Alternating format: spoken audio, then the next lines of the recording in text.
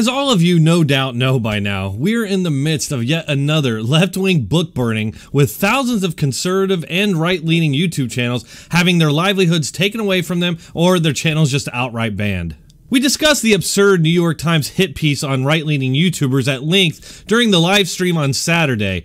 If you missed it, make sure to go back and check out the replay. If there's any actual Nazi channels being taken down by YouTube, I wouldn't know, but it seems like anyone to the right of the Young Turks is being targeted. Of course, the media is now using this to advance their narrative that anybody who disagrees with them is a Nazi. And that was the tone of a CNN panel yesterday where they debated the idea of censoring, quote, terrible speech. And after you see this, you'll notice that there's absolutely no mention whatsoever of the fact that moderate to slightly right of center people are the ones being targeted and silenced.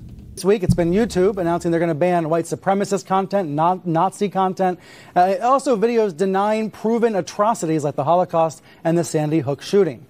But that's really strange because the Young Turks still continue to be monetized and have a channel, even though that channel is named after a political movement that carried out the Armenian genocide. I could be wrong, but doesn't Cenk Uygur deny that the Armenian genocide took place? Notice how they claim that it's only white supremacist channels being targeted.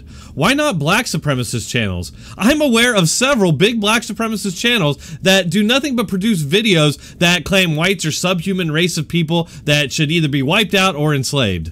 No, it's pretty clear at this point that any channel that questions left wing orthodoxy concerning race, or gender, religion, or social systems is gonna fall under that umbrella of white supremacist. This really shouldn't surprise anyone since we're now living in a world where this guy can be labeled a white supremacist. We're also living in a world where this guy has been targeted by these same forces and demonetized in the hopes that I'll just give up and go away. Not bloody likely. Because of this, I require the support of people like you to continue producing content for this channel.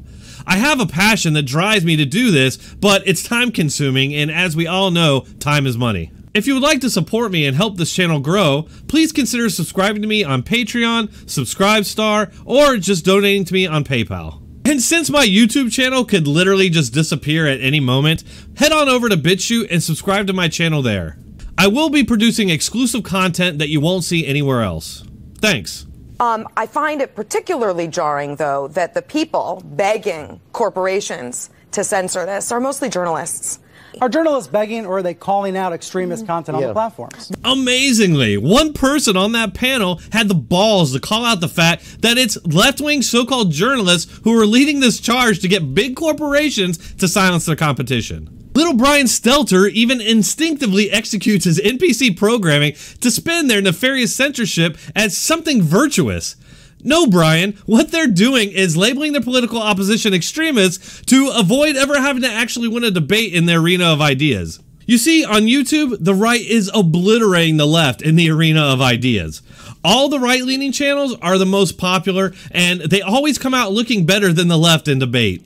That's why left wingers don't like to talk or debate when you interview them at protests. Sure, they can wave signs and chant slogans, but they're not so good at actually defending their positions. We have a similar situation at CNN where they're getting destroyed in the ratings and thus must now demonize and attempt to censor their opposition. But, but journalists exercise editorial judgment every time. day. Sure. That's not censorship. That's No. deciding what's good quality content and what's incitement. What's good quality content? Is doctoring footage of Trump so you can lie about what he said considered good quality? Is misrepresenting events to suit your political narrative considered good quality? And what about incitement? You mean like promoting and defending violent left wing terrorist groups? CNN literally produced a show where they framed a violent nutcase with weapons as some sort of a viable response to political opposition. Oh. I love that these are, uh, I know. I like that. They're can I put sparkly. that time Yeah, on? I go want to ask. I okay. usually have a couple of those on me just in case. just, just in case. Naturally, none of this even begins to cross the mind of this dope.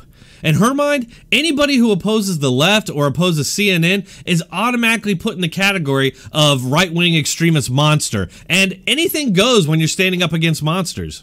Excellent reporting and studies in the last week. A lot of it published in the New York Times. And even this more speech, the recommendation engine of YouTube is driving people towards ever more extreme content. I'm gonna end this video on this last bit of dumb fuckery. The New York Times piece that she's referencing is a steaming pile of stinking bullshit. It's pure propaganda meant to demonize their business competitors and their political opposition as a gateway to the Nazi party. It's the completely contrived story of some white guy who was allegedly radicalized by, quote, far right YouTube channels like Steven Crowder and Philip DeFranco, and was eventually saved by the superior and virtuous left wing YouTube. It's even crazier than it sounds, but you should check out our hour long live stream on the topic from Saturday night. I'm also doing an exclusive BitChute review of that article, so head on over there and check that out. That's all I got for you today, folks. Make sure to like and share, and I'll see you next time.